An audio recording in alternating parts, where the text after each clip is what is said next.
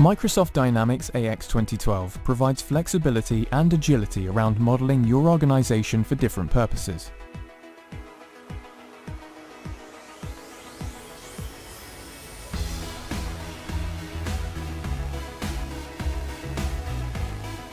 An example of this would be to model the budget planning hierarchy differently to the reporting organizational structure, focused on budget-centric areas of the organization.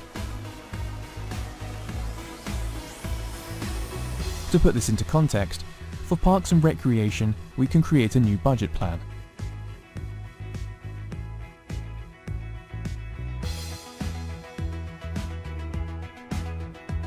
When creating a new budget plan, you can choose to build multiple scenarios for the same period and link parent to child plans.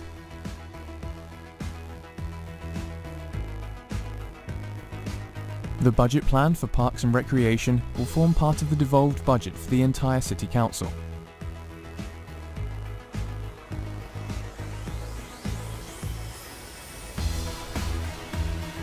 The budget plan is created with no details, so line items need to be created. Budget plans can be created based upon a previous period's data, a previous budget plan, from fixed assets, or from forecasted positions managed within human resources.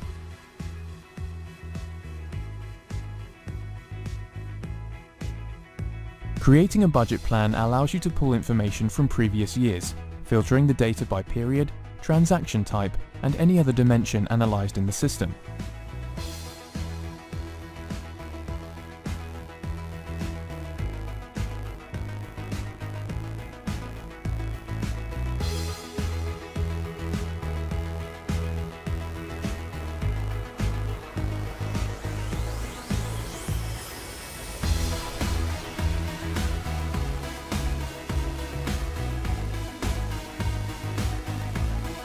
Likewise, the target of the plan lines can be defined to send the data to a chosen scenario, including a particular variant and whether or not to include an uplift or reduction in balance.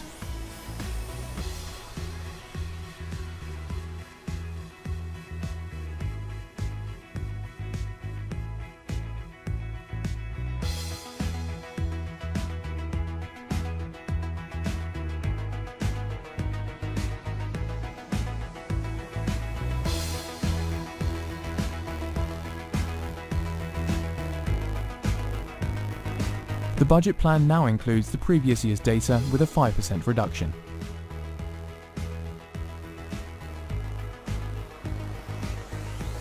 You can then select which lines to allocate to a different variant by allocating the budget lines across periods and with another allocation.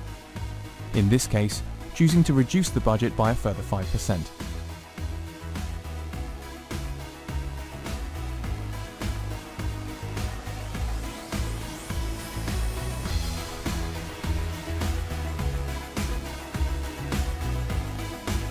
The new figures have now been pulled into department requested and shown with the further reduction.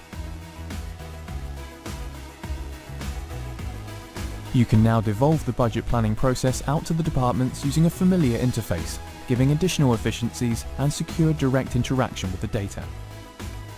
Once the data is in Excel, the budget holders can edit the information directly on the spreadsheet and publish back into the system using the Dynamics AX tab.